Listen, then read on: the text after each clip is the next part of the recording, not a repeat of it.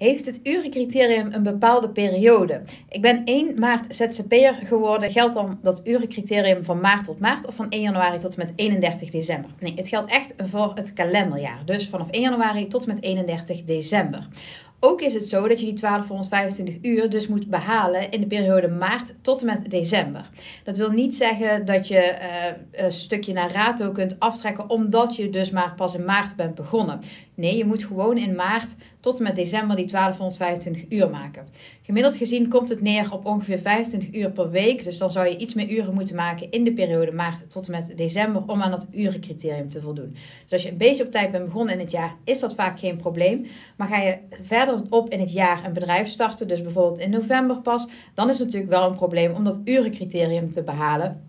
Want dan moet je in november en december dus 1225 uur gehaald hebben in twee maanden tijd aan je onderneming. En dat is natuurlijk wel weer een iets lastiger verhaal.